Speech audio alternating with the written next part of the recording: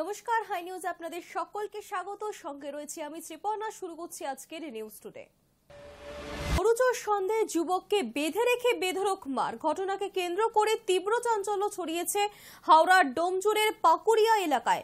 জ্বালানো হয়েছে ম্যাটাডোর। পুলিশের মধ্যস্থতায় আওত্তে এসেছে পরিস্থিতি। মারধরের ঘটনায় আটক করা হয়েছে ছজনকে। শনিবার রাতে ডোমজুরের পাকুড়িয়ার বাসিন্দারা দেখতে পান, কয়েকজন যুবক একটি গরুকে টেনে হেঁচড়ে গাড়িতে তোলার চেষ্টা করছে। ওই যুবকদের ধাওয়া করে কিছুজন, তিনজন পালিয়ে গেলেও একজন ধরা পড়ে যায়। রাতে মোহাম্মদ ইসরার নামে এক যুবককে বেঁধে রেখে বেধরক মারধর করে উত্তেজিত জনতা। যুবককে মারধরের ঘটনাকে কেন্দ্র করে উত্তপ্ত হয়ে ওঠে পরিস্থিতি। আগুন ধরিয়ে দেওয়া হয় ম্যাটাডোরটিতে।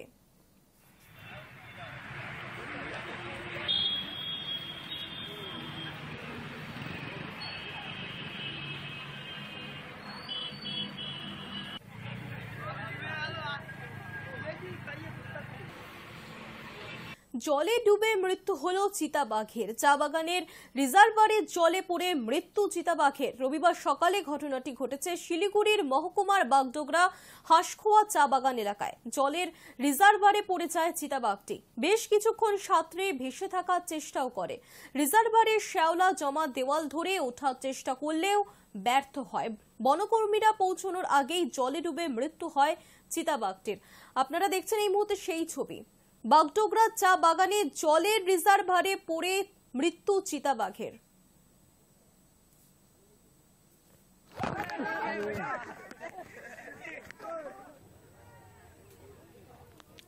গরু পাচার মামলায় এবার সাইকেল হোসেন সংক্রান্ত যাবতীয় তথ্য ইডির হাতে তুলে দিল সিবিআই। কেন্দ্রীয় গোয়েন্দা সংস্থা সূত্রে খবর, গত কয়েক মাসে তদন্তে যা তথ্য মিলেছে, সাইকেলের সম্পত্তি ও টাকা পয়সা সংক্রান্ত যে সমস্ত তথ্য প্রমাণ হাতে এসেছে তাছাড়াও চার্জশিট সহ মোট পাঁচশো পাতার নথি তুলে দেওয়া হয়েছে ইডির তদন্তকারীদের হাতে।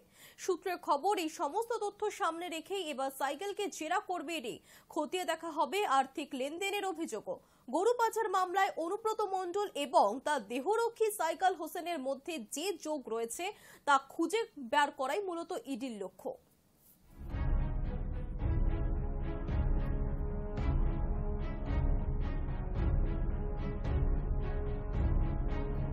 দীপাবলির আগেই মহাকাশ গবেষণায় নয়া মাইলস্টোন ভারতের। শনিবার রাত বারোটা সাত মিনিটে অন্ধ্রপ্রদেশের শ্রীহরিকোটার সতীশ ধাওয়ান স্পেস সেন্টার থেকে ব্রিটেনের ছত্রিশটি উপগ্রহ নিয়ে মহাকাশে পাড়ি দিল ইসরোর সব থেকে ভারী রকেট, যার প্লেলোড ছিল পাঁচ হাজার সাতশো ছিয়ানব্বই গ্রাম। ইসরোর তরফে জানানো হয়েছে, LV M three, M two, OneWeb India ওয়ানের উপগ্রহের উৎক্ষেপণ সফল হয়েছে।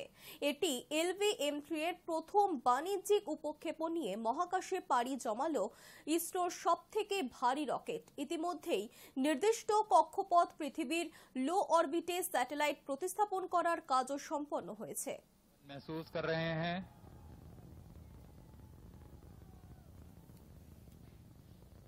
Searing the night sky, the LVM-3 M2 mission moves forward. 25 meters long main 200 boosters, each carrying 205 tons of main HTPV-based propellant. Plus one minute. Action time 126 তার মন্দিরের এক মাইলের মধ্যে অন্য কোনো কালী পুজো হলে ক্ষুব্ধ হন এই মা কালী বসিরহাটের সংগ্রামপুরের এই কালীমা দক্ষিণা কালী নামেই পরিচিত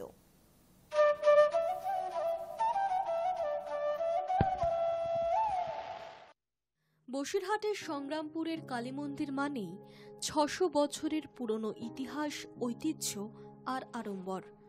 এই মন্দিরের এক মাইলের মধ্যে অন্য কোনো কালী পুজো হয় না। কারণ অন্য কোনো কালীর আরাধনা হলে ক্ষুব্ধ হন সংগ্রামপুরের দক্ষিণা কালী। এই মন্দির স্থাপিত হবার পর থেকে চলে আসছে একই নিয়ম।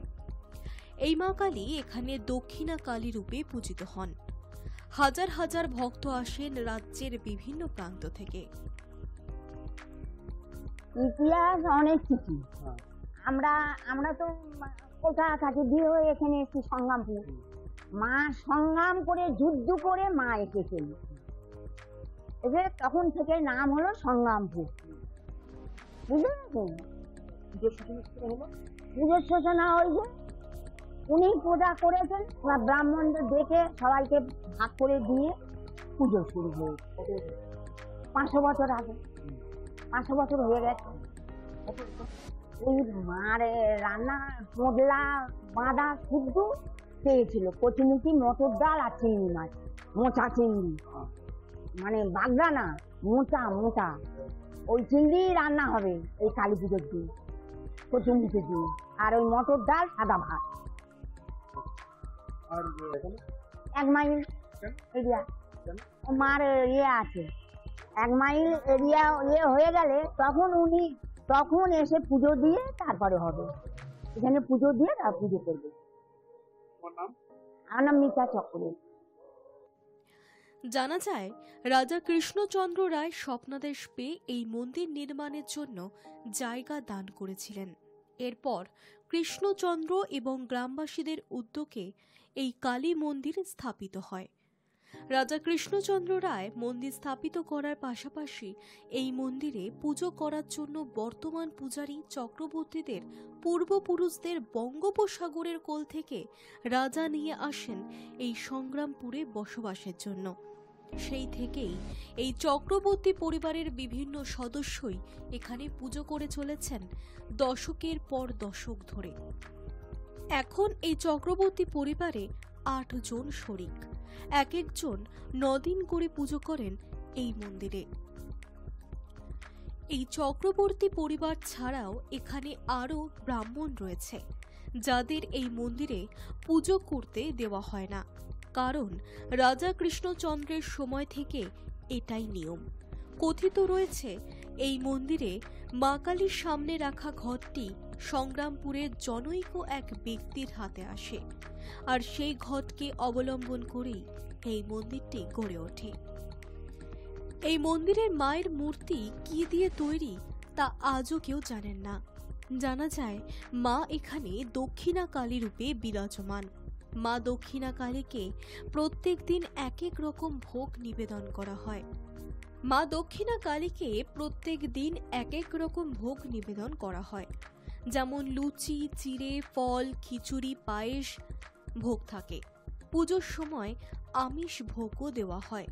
যেমন চিংড়ি মাছ, কচু শাক, মটরের ডাল দিয়ে এঁচড়ের তরকারি কচুর মুখী এবং চিংড়ি মাছের তরকারি সঙ্গে থাকে সাদা ভাত। এবং পশু বলির কাঁচা মাংস নিবেদন করা হয় মাকে। এই মন্দিরের সাথে প্রথমেই বলি এই শ্যামা পূজা উপলক্ষে মায়ের মন্দিরে একদিনের জন্য তারাপীঠের আদলে আঁশ হয়। যেমন অন্ন, ডাল, কচুরমুখী মাথা মোটা চিংড়ি মায়ের ভোগ, পায়েস এই একটা দিনই আমিষ ভোগ হয়। বহু দূর দূরান্ত থেকে মায়ের মন্দিরে দর্শনার্থীরা পুজো দিতে আসেন। মায়ের কাছে একটাই কামনা করোনা মুক্ত হোক। করোনার প্রভাবে দক্ষিণেশ্বরে এখন যেভাবে আমাদের এখানে ভক্ত সমাগমটা দিন দিন বেড়েই চলেছে, এটা প্রায় পাঁচশো বছরের পুজো। আগে খুনটি ঘর ছিল, এখন সবার দানে অর্থ সাহায্যে আজকে মন্দিরটা পরপর শ্রীবৃদ্ধি হচ্ছে এবং বহু দূর দূরান্ত থেকে ভক্ত সমাগম হচ্ছে। এই দক্ষিণ দিকে মুখ দক্ষিণার কালীবাড়ি বলে। এটাকে সংগ্রামপুর এটা সংগ্রামপুর মায়ের মন্দির উন্নয়ন কমিটি উন্নয়ন কমিটির তত্ত্বাবধানে মায়ের মন্দিরের বৃদ্ধি হচ্ছে। প্রথমে? তো আগে এখানে অনেক পুরনো, পাঁচশো বছর আগের কথা। আমাদের তো সব শোনা গল্প। এই যে মন্দিরটা দেখছেন এখানে বন জঙ্গলে ভরা ছিল। তো এক সময় নদীর ধারে সব বেড়াতে এসছিল জমিদাররা, এসে দেখে যে ভিতরে একজন রূপসী মহিলা মন্দির থেকে ওখান থেকে বেরিয়ে আসছে। আগুনের ঝলকির মতো। এইটাই আমরা শুনেছি। আর এই মন্দিরটা বিশেষ করে উন্নয়ন কমিটি, আমার নাম তরুণ বিশ্বাস। এখানে শ্যামা পুজোর দিন কিছু বিশেষ রীতি বা প্রথা রয়েছে, যা চলে আসছে প্রায় ছশো বছর ধরে। শ্যামা পুজোর দিন প্রত্যেকবার মায়ের চক্ষুদান করার প্রথা রয়েছে এখানে। চক্ষুদান করা হয় সকাল আটটার মধ্যে। শিল্পী এসে মায়ের চোখ আঁকেন। তারপর পুরোহিতরা দৃষ্টিদান করেন। তৃতীয় প্রহরে, পুজোর পর চতুর্থ প্রহরে, অর্থাৎ ভোরের দিকে, হয় বলি প্রথা পশুপতি দাসের রিপোর্ট, হাই নিউজ নেটওয়ার্ক।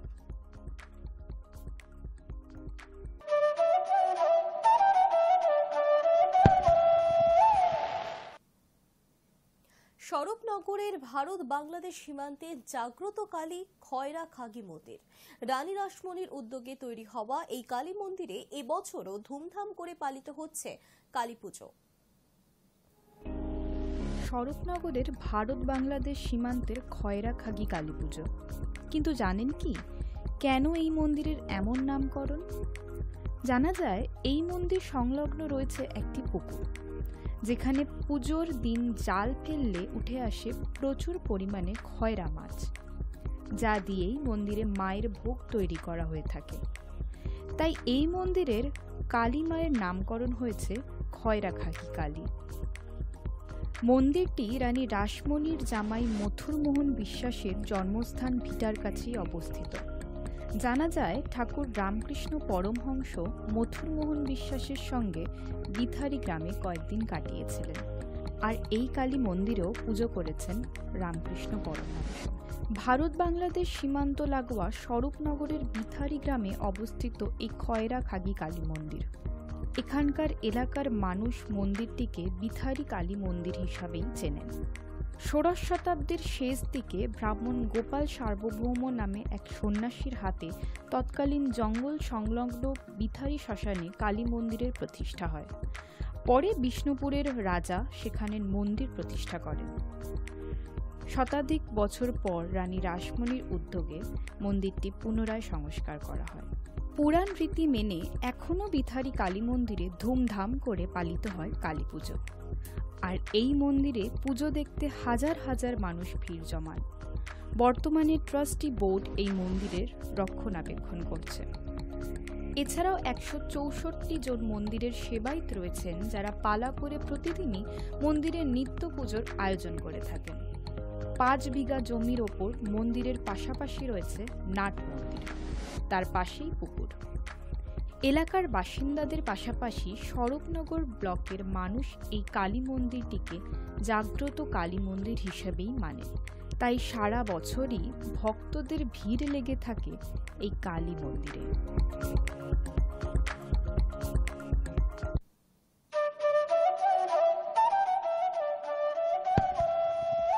মেলবোর্নের বাইশ গজে ব্যাটিং বিপর্যয় সামলেও বিরাট জয় রোহিত শর্মাদের। নাটকীয় ম্যাচে পাকিস্তানের আট উইকেটে একশো উনষাট রানের জবাবে ভারত করল ছয় উইকেট, একশো ষাট রান। ছয় এক ওভারে একত্রিশ রানে চার উইকেট। পাক প্রেসারদের দাপটে প্যাভিলিয়নে ফিরে গিয়েছে কে এল রাহুল, রোহিত শর্মা, সূর্যকুমার যাদব এবং অক্ষয় প্যাটেল। এহেন পরিস্থিতিতে যে কোনো দলেরই মাথা ঠান্ডা রেখে খেলা ভীষণ চ্যালেঞ্জের। আর তা যদি হয় ভারত পাকিস্তান ম্যাচ, তাহলে তো কোনো কথাই নেই। কিন্তু বিষয় যখন বদলা নেওয়া আর সম্মান রক্ষার, তখন তাগিদটাও যে অনেকখানি বেড়ে যায়। সিদ্ধারা সোজা করে তাই কঠিন লড়াইটা এগিয়ে নিয়ে গেলেন বিরাট কোহলি এবং হার্দিক পান্ডিয়া। মেলবোর্নে লেখা হলো প্রতিশোধের ইতিহাস।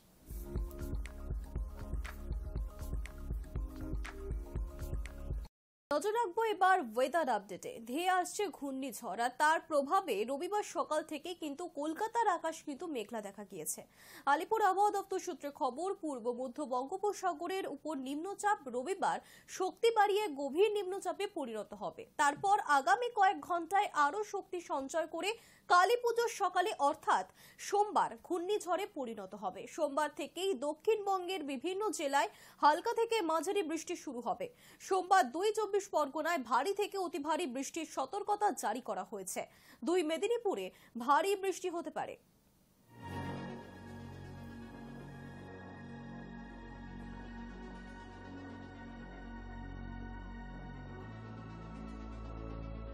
নিউজ টুডে এখনকার মতো এই পর্যন্তই। চোখ রাখুন হাই নিউজে হাই নিউজ নির্ভীক নিরপেক্ষ।